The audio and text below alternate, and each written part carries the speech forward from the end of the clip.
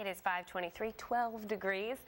After setting up another successful restaurant, restaurant two Baltimore guys said, why not us? So they, so they color their hummus purple, and off we go to Owings Mills for this morning's Dine on a Dime.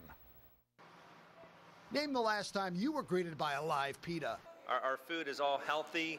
It's uh, all fresh made. Tahina's just opened on Owings Mills Boulevard.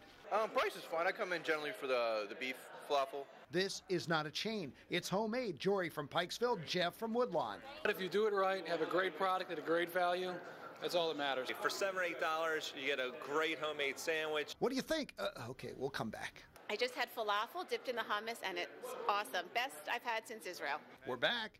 Just got a little lettuce on it, a little pickle, and the zesty garlic sauce. It's great. beef wrap with a little bit of lettuce and the zesty garlic sauce. I had to keep it simple, but it's good, really good. And the frites, Hey, we're hanging out over here at the Fry Bar. Look at all the dips. Zesty garlic. This, I've never seen. What, what do you call this?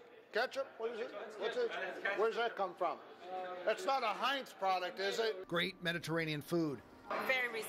Where else can you get baba ganoush?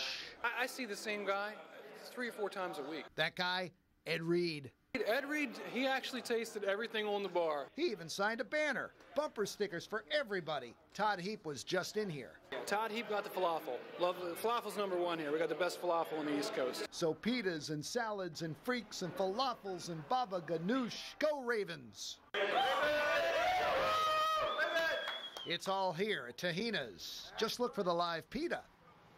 That's pretty good. Tahina's baba ganoush. It looks delicious. Hey, you know what baba ganoush is? Well, hey, it's uh, fried eggplant, right? Yeah, I was going to say it's eggplant, isn't it? Right. It's good It is stuff. good stuff. So we'll see you out there. That's great. Jeff and Jory, they did a great job out there.